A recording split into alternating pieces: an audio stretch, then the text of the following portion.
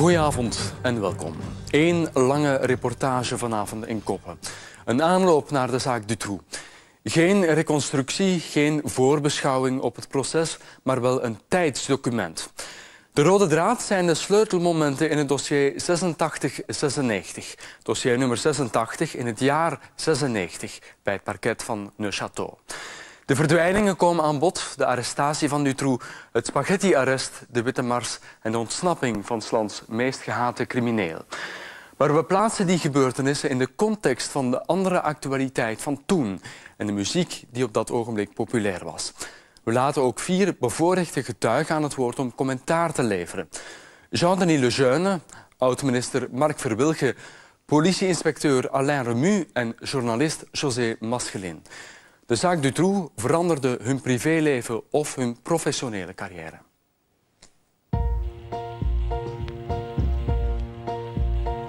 Voor Dutroux zelf uh, is het een, zijn laatste moment de gloire. Ik heb mij nooit een witte ridder gevoeld. Ik had er zelf ook het gevoel bij van, ja, wie is er hier nu de verdachte? Men is dus met name in die zeven jaar niet veel meer te weten gekomen dan tijdens de eerste drie, vier maanden van het onderzoek. Ce que je crains surtout, c'est le, le cirque des avocats. Eigenlijk was de ontsnapping lachwekkend. Une chose est sûre, c'est sept ans qu'on vient de passer dans la douleur. Dutroux euh, est devenu en soi un produit. Et que c'est un produit qui fait vendre, puisque les gens... Euh, j'ai l'impression parfois de, comparer ça à, un feuilleton, et que les gens veulent savoir la suite du feuilleton, et qu'il y a un côté malsain peut-être, un côté voyeurisme, qui, qui là me dérange un peu.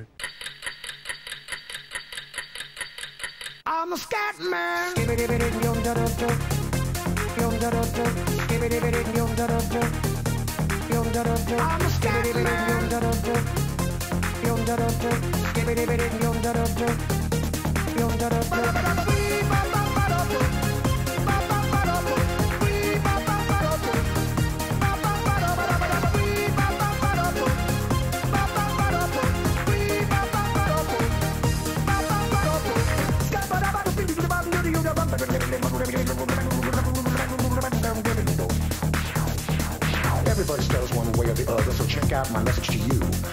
As a matter of fact, I don't let nothing hold you back. The scat man can do it.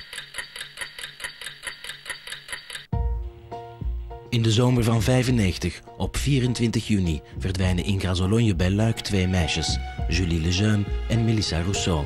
Beide zijn acht jaar. La première section à gauche du chemin, la deuxième section à droite. Er volgen zoekacties, maar zonder resultaat.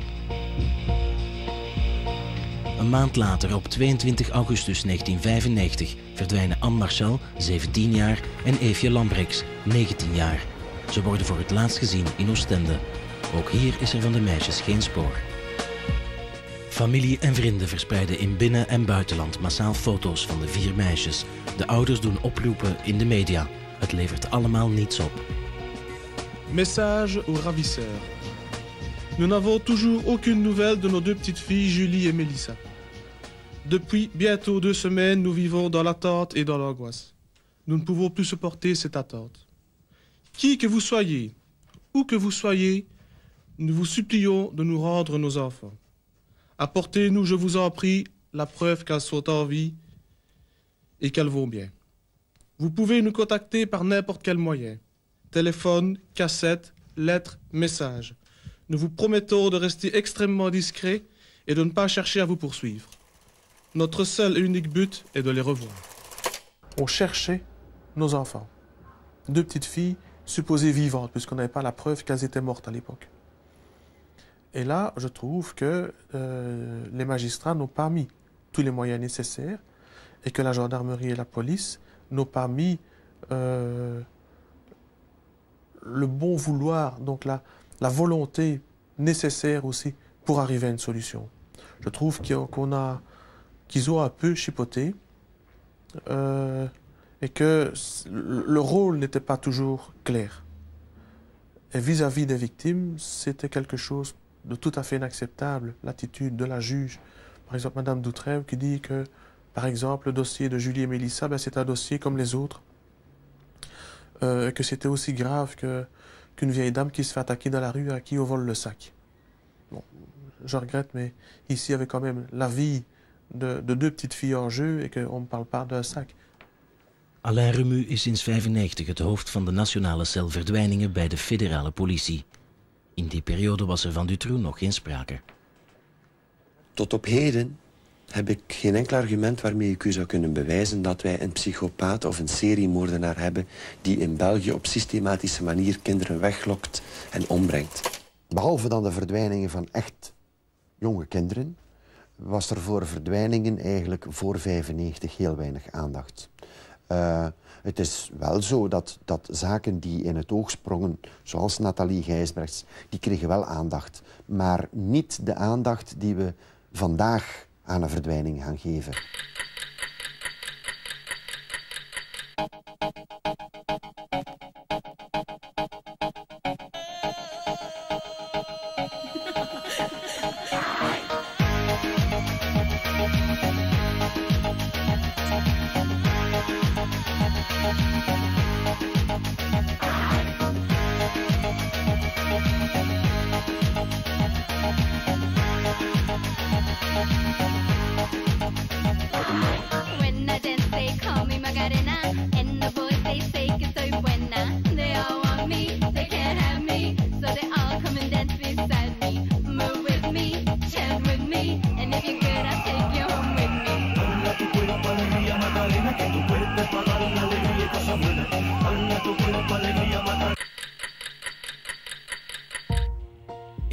Van 96 zijn er opnieuw twee onrustwekkende verdwijningen.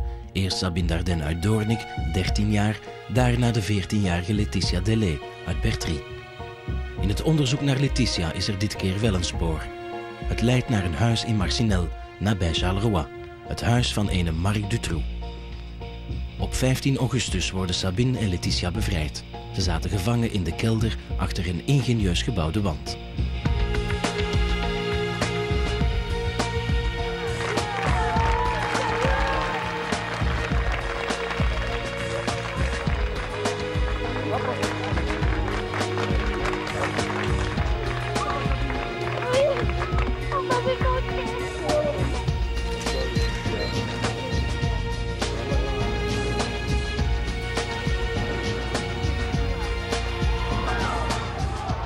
Dag later aan het justitiepaleis van Neuchâtel. Hoofdverdachte Marc Dutroux verschijnt voor de raadkamer samen met zijn vrouw Michel Martin en zijn compaan Michel Lelièvre. De volkswoede is groot.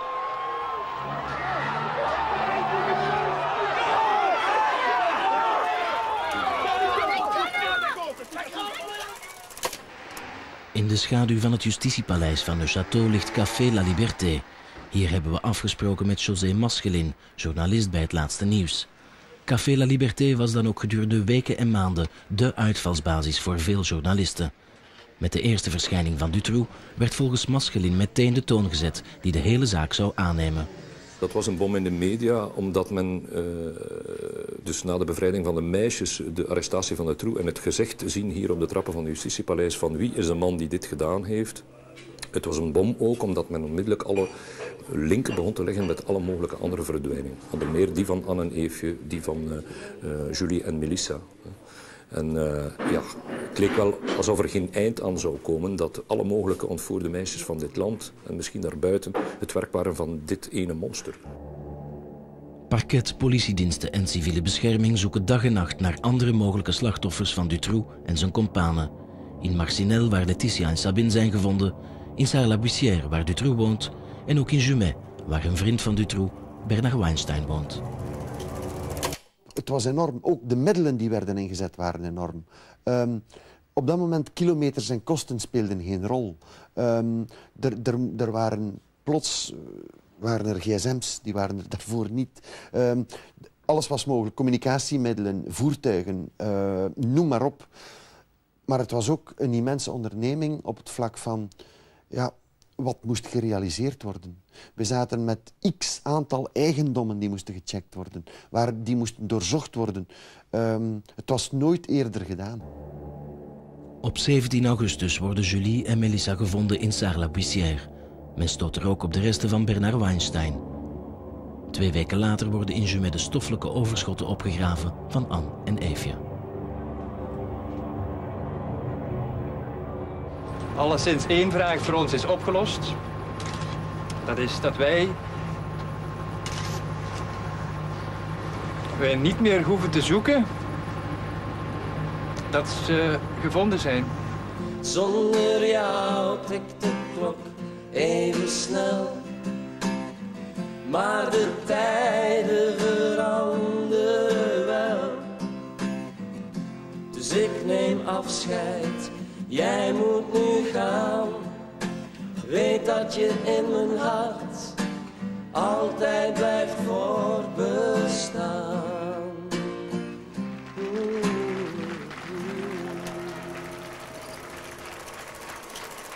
Ce que j'espère, c'est un jour savoir exactement ce qui s'est passé, connaître la vérité et qui est responsable de ça. Er is ook een vierde verdachte die wordt opgepakt, de Brusselse zakenman Michel Nihoul. Onder grote bewondering van de publieke opinie leiden onderzoeksrechter Connerot en procureur Bourlet nu het onderzoek. Michel Bourlet doet in een interview een uitspraak die veel stof doet opwaaien. Toutes les personnes qui seront identifiées seront poursuivies. Ça, ça c'est évident.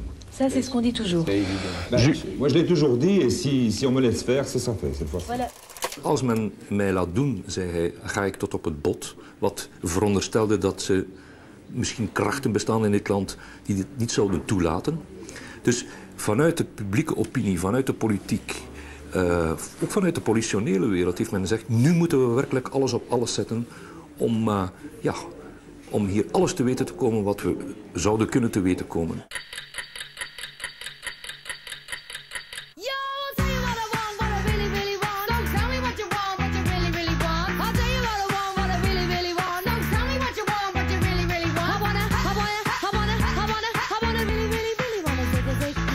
If you wanna be my lover, you gotta get with my friends. Make it last forever. Friendship never ends. If you wanna be my lover, you have got to give. Thinking it's too easy, but that's the way it is. So here's your story from A to Z. You wanna get with me, you gotta listen carefully. We got M in the place, you like it in your face. You got G like Hennessy,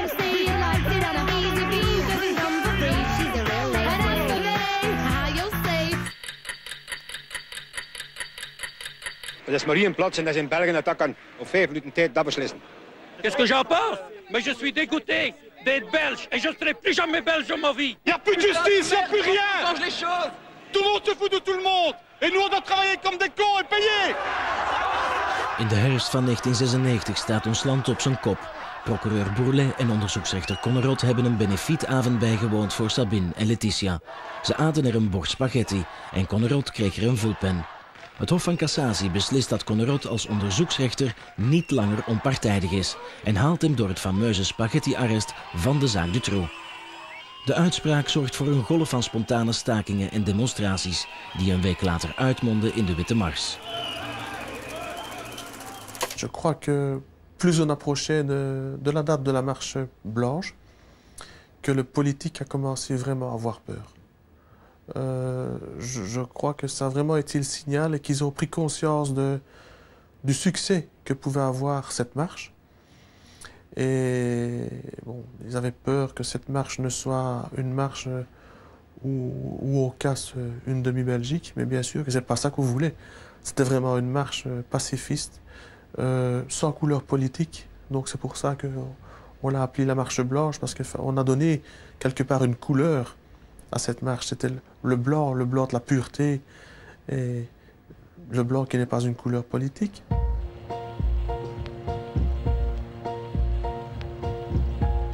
De Witte Mars is een indrukwekkend protest. Een stille mars. Op 20 oktober 1996 stappen meer dan 300.000 mensen door de straten van Brussel.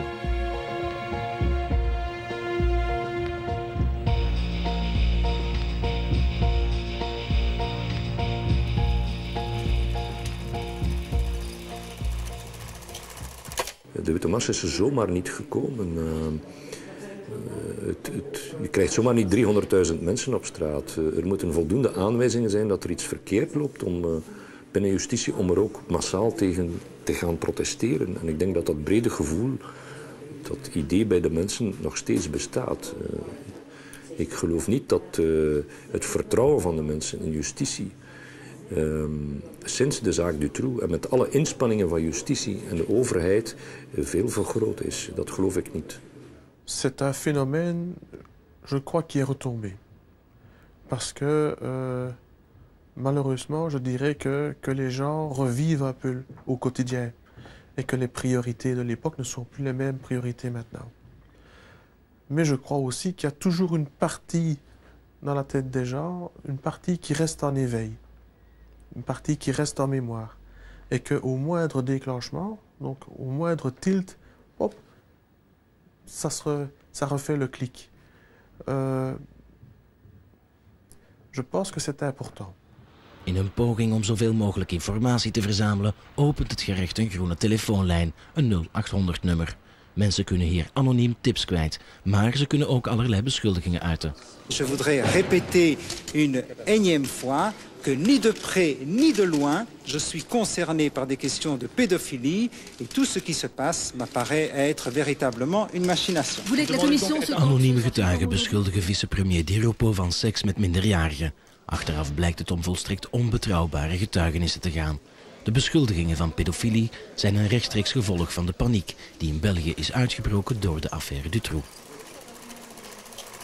Men is uh, bij de minste klacht mensen beginnen aanhouden. Mensen beginnen uh, diaboliseren, stigmatiseren. Vaak in zeer delicate zaken bereikte dat ook de media. Werden mensen met naam en toenaam genoemd. Werden carrières gebroken. Werden levens kapot gemaakt. Om dan drie, vier jaar later vast te stellen dat er eigenlijk niets aan de hand was. Dat er geen enkel bewijs was om die personen te veroordelen. Dit is een zeer negatieve kant van de zaak Dutroux. Een soort van bijna hysterische aanpak door het gerecht uh, van uh, zedenfeiten. Uh, ik herinner mij de verzekeringsinspecteur die daar op een kruispunt bij een meisjescollege foto's nam voor een dossier van een verkeersongeval. Die kon dus het voorwerp uitmaken van een huiszoeking nadat zijn nummerplaat genoteerd werd omdat hij meisjes had gefotografeerd. Hè. Ik bedoel, alles was buiten proportie op dat moment. Uh, burenruzies werden beslecht met een aangifte op het 0800-nummer.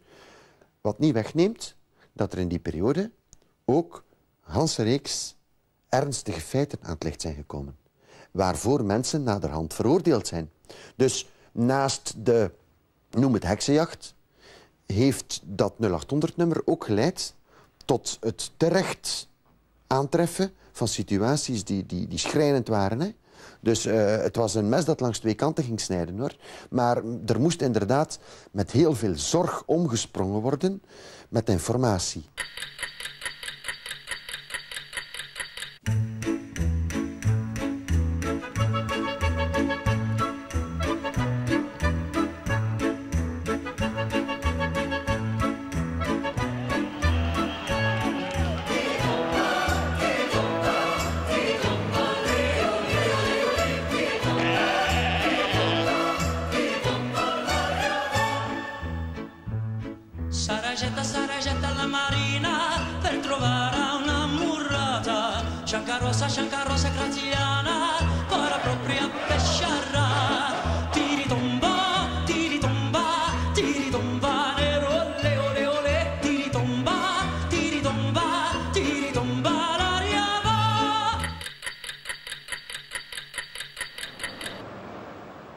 1996 wordt er opnieuw volop gegraven en gezocht in Jumet. Nu ook in bossen, mijngangen en putten. De laatste ruimte die je onderzoekt kan even belangrijk zijn als de eerste ruimte. Dat is de wet van Murphy. Dat is niet helemaal zo. eh. Dus vandaar dat wij, tot wanneer we geen volledige zekerheid hebben, gaan we gewoon weg puur door. De zoekacties naar mogelijk nieuwe slachtoffers zullen duren tot mei 1997. Weliswaar zonder resultaat. Je jure de toute la vérité et rien que la vérité. In dezelfde periode gaat de parlementaire onderzoekscommissie Dutroux, Nihoul en consorten van start. Die moet uitvissen hoe het gerechtelijk onderzoek is gebeurd. De voorzitter van de commissie Dutroux is Mark Verwilgen, een tot dan nog vrij onopvallend VLD-parlementslid. Maar ik van u weten wie binnen de Rijkswacht voor het recherchebeheer eigenlijk aansprakelijk is? Uh, ik. Wel, die commissie was eigenlijk een uh, bliksemafleider, omdat de mensen dag in dag uit in staat waren om de werkzaamheden van die commissie op te volgen. En eigenlijk ook beetje bij beetje geconfronteerd te worden met, met de problemen die zich in het dossier hadden uh, voorgedaan. De commissie legt een race fouten en gemiste kansen in het onderzoek bloot. De onderlinge oorlog tussen de politiediensten en het gerecht wordt pijnlijk duidelijk. Het is allemaal rechtstreeks te volgen op tv. Zo is een van de hoogtepunten, of beter dieptepunten, de confrontatie tussen adjudant Lesage van de BOB en onderzoeksrechter Doetrijven. Il y en a un de vous deux qui ne dit pas la réalité et la vérité. Et je me demande si celui ou celle, je m'exprime donc pas, se rend bien compte de ce qu'il est en train ou de ce qu'elle est en train de faire. Je peux prendre la parole Faut pas répondre. Hein. Ça, c'est une question qui va dans votre âme, de vous deux. Et j'espère qu'un jour, on pourra se revoir et se regarder dans les yeux. C'était pénible et minable de voir les, des gens qui, quelque part, nous dirigent, parce qu'il y a eu des politiciens qui ont été interrogés, de voir des gens qui, ont, qui sont censés euh, nous protéger, euh, comme les magistrats et comme les, services de police, et de voir toutes les limites qu'ils ont montrées, euh, tant les limites euh, intellectuelles que les limites matérielles. Et je trouve que c'est pénible à, à, vivre en direct, surtout quand on sait que, que dans, dans, dans ce cas-ci, c'était la vie d'enfant qui était en jeu. De sfeer op de hoorzittingen is te snijden. De commissieleden en vooral voorzitter Verwilgen verwerven door hun scherpe vraagstelling een grote populariteit. Monsieur Michaud, vous maintenez votre déclaration? Oui, il s'agit d'un contact téléphonique. C'est tout à fait inexact. À partir Lorsqu'on dit quelque chose et on a prêté serment, oui. et il y en a un qui dit noir et il y en a un qui dit blanc, oui. Il faut bien vous imaginer que la commission ne laissera pas passer ceci comme ça.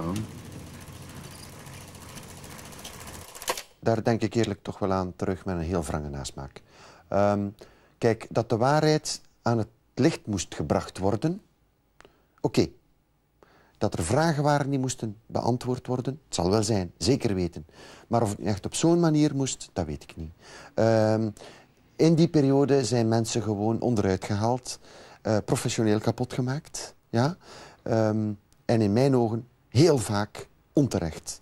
Uh, de manier waarop is niet de manier die ik allee, de voorkeur aan geef. Wij, ik, ik had er zelf ook het gevoel bij van, ja, wie is er hier nu de verdachte? Wat wij zeker niet waren uh, en zijn, dat is een uh, soort van rechtbank. In het geheel niet.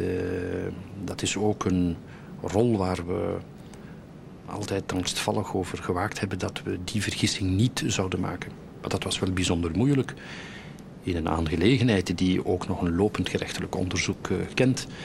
En zeer vaak is mij opgevallen dat uh, mensen uh, dachten van, ja goed, er zal nu toch als gevolg van de vaststellingen hier ook een, een gevolg opkomen. Ik begreep dat vooral disciplinair, soms ook gerechtelijk. Maar dat was onze taak niet. Uh, daar hebben we ons ook niet mee bezig gehouden. En je mocht dat honderd keren herhalen.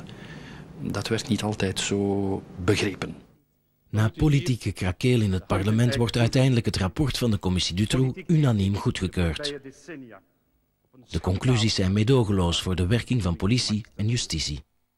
Deze commissie, de gehele politieke wereld trouwens, moet even nadenken over de volgende woorden van Augustinus.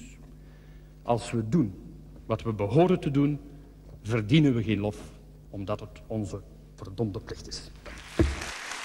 De commissie Dutroux legt Mark Verwilgen geen windeieren. Bij de volgende federale verkiezingen zal hij een monsterscore behalen en schopt hij het tot minister van Justitie. Ook al was het enkel de bedoeling om dysfuncties te gaan blootleggen, toch heeft men in die commissie eh, achter gesloten deuren, of niet, het, het ook elke dag, heeft men uitspraken gedaan over schuld en onschuld van bepaalde verdachten in deze zaak. En dit kan zeer ernstige gevolgen hebben voor het proces dat, eh, dat binnenkort start. Ik ben er zeker van, mocht Julien Pierre, de eerste advocaat van, eh, eh, van Marc Dutroux, nog steeds in de zaak zitten, dat hij de commissie Dutroux zou eh, aangrijpen om cassatie aan te tekenen tegen de rechtspleging in, in het Assisenhof. Zij het op nationaal niveau, maar zeker op internationaal niveau bij het Hof van de Rechten van de Mens in Straatsburg.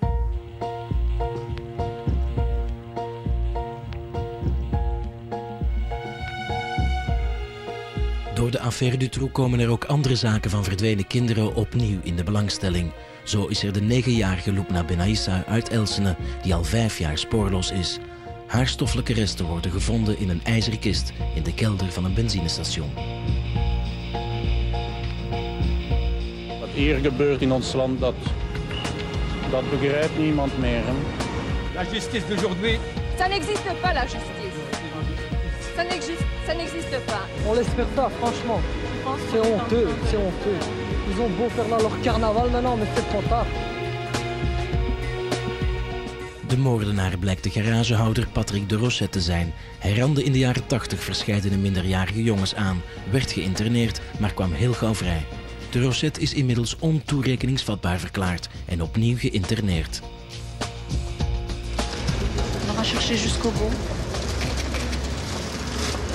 Malheureusement, la vérité est atroce, mais jusqu'au bout, on essaiera de savoir pourquoi des hommes sont passés à côté.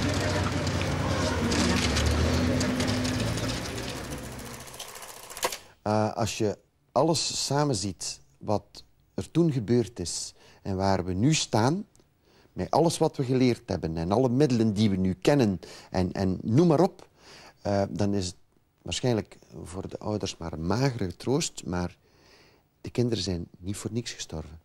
Ehm, de, die feiten van toen hebben ertoe geleid dat we vandaag staan waar we staan.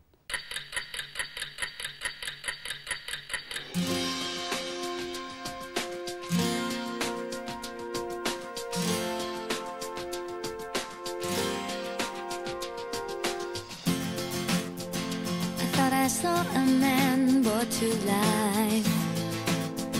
He was warm, he came around like he was dignified.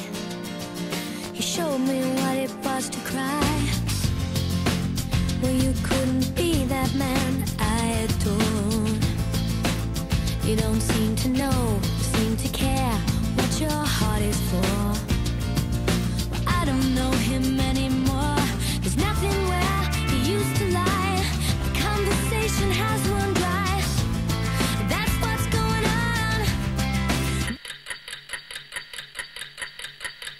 Monsieur Dunn, vous avez aussi la confirmation que Dutroux serait échappé Op donderdag 23 april 1998 staat heel het land in rep en roer. Marc Dutroux is ontsnapt. J'ai pas d'informations.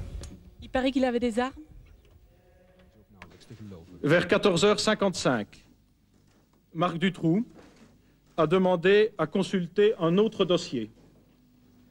Profitant de la manipulation des dossiers, il a malmené les gendarmes, subtilisant par la même occasion l'arme d'un de ceux-ci et profitant de la surprise générale, s'enfuit en courant du palais de justice.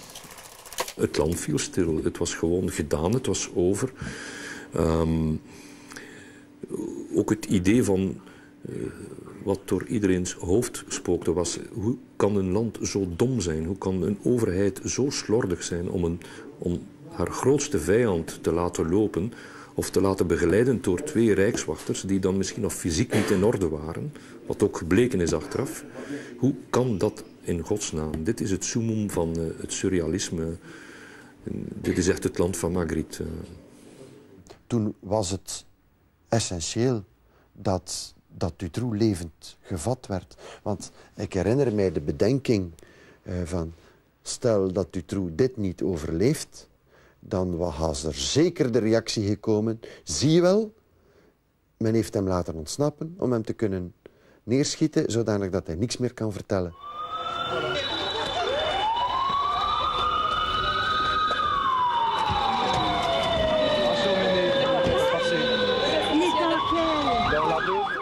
Dutroux blijft niet lang op vrije voeten. Drie uur na zijn ontsnapping wordt hij opnieuw gearresteerd.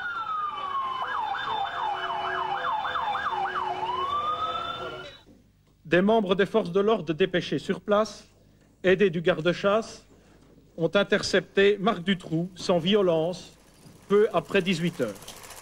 Het, het kon niet anders dat, dit, eh, dat deze ontsnapping ernstige politieke gevolgen zou hebben. Ernstige gevolgen op vlak van politiehervorming en zo. Ehm, ja, dat verwondert mij niet. Allee, is er weg. Dat is de... De dag na de ontsnapping nemen minister van Justitie Stefan de Klerk en minister van Binnenlandse Zaken Johan van der Lanotte ontslag. Enkele dagen later is het de beurt aan de opperbevelhebber van de Rijkswacht, luitenant-generaal Willy de Ridder. Maar ook de hervorming van de Belgische justitie en politie komt in een stroomversnelling terecht. Wat jarenlang onmogelijk was, gebeurt nu in drie weken. Het Octopusakkoord moest een einde maken aan de concurrentie tussen de verschillende politiediensten en aan de politieke benoemingen bij justitie. Veranderen, in mijn geval, van Rijkswacht naar federale politie... dat doe je niet door een ander uniform aan te trekken. Ja, ik bedoel, ehm, wij laten een Hanse cultuur achter ons... en wij moeten nu in een heel nieuw gegeven instappen. En daar zijn we nu mee bezig. En ik denk dat dat vrij goed lukt. Maar inderdaad, dat was niet evident. En het is naar buiten toe waarschijnlijk een van de grootste gevolgen van de zaak Dutroux.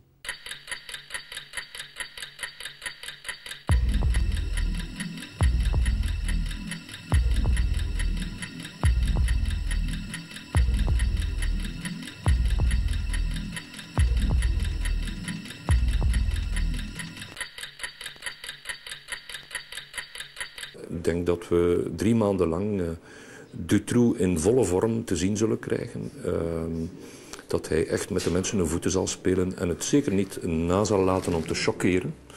Ik vraag mij bijvoorbeeld aan de zaken dat hij zal zeggen in de trant van... ik ben eigenlijk goed geweest voor die meisjes. Uh, het zijn mijn kompanen die uh, de boel om zeep hebben geholpen. Uh, dat soort zaken. Pour, pour l'heure, je, je, ne compte pas assister au procès. Pour plusieurs raisons. Parce que, d'une part, pour ne pas euh, affronter, euh, réaffronter tout le vécu de ce, de ce procès. Donc, le vécu du contenu, puisque bon, j'en ai lu une partie, pas tout.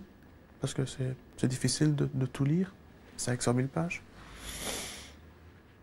que pour ne pas subir non plus de nouveau euh, l'agressivité, l'arrogance et le mépris des avocats de la défense, comme on a pu le subir en, en chambre du, de, de mise en accusation et du conseil. Het zou me verwonderen mocht dit proces na een paar maanden worden afgesloten zonder incidenten, zonder procedureslagen en dat daarmee de zaak is afgerond. Het zou me hard verwonderen mocht dat gebeuren. Maar ik hoop het wel, want na zeven jaar is het genoeg geweest.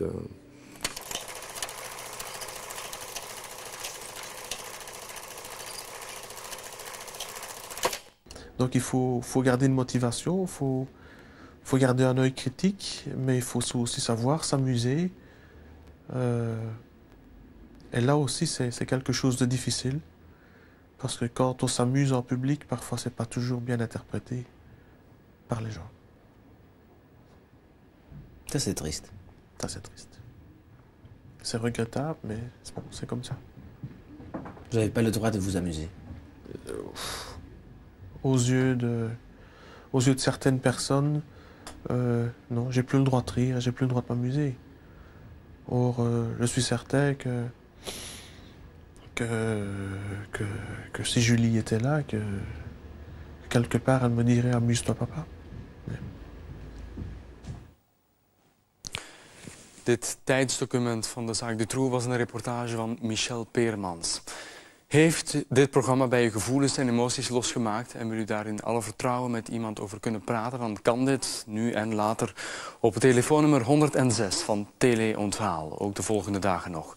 Met informatieve vragen moet u wel overdag bellen. Ook surfen kan naar www.tele-onthaal.be. U kan deze uitzending ook opnieuw bekijken op onze nieuwswebsite www.vrtnieuws.net.